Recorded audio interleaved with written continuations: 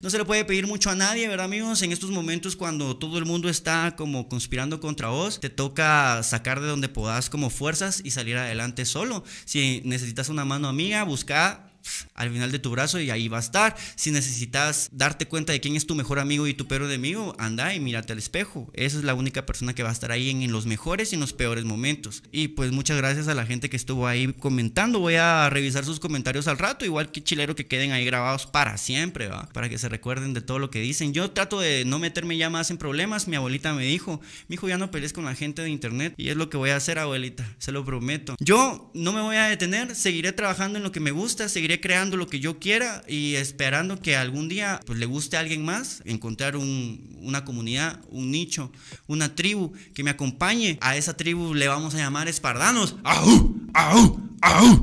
Que me acompañen siempre con fuerza, con ganas y que no se dejen manipular por cualquier videíto culero que salga por ahí. Amigos, muchas gracias. Si tienen alguna duda, me preguntan directamente. Ya ven cómo es la valentía de las personas que se animan ahí a tirar mierda en comentarios, pero no se animan a poder articular un par de palabras en un minuto en una nota de voz. Yo quiero dejar claro, no tengo ningún problema con nadie, no tengo no tengo ni siquiera ganas de discutir con nadie. Si ustedes quieren hacer lo que ustedes quieran, si ustedes creen correcto hacer lo que ustedes putas quieran, háganlo. Es su culo, no el mío.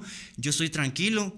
Estoy aquí trabajando en lo mío, trabajando siempre para adelante para tratar de, de tener feliz a ese niño que algún día fui. ¿Sí? A ese pequeño que soñó que creció y que creyó en él.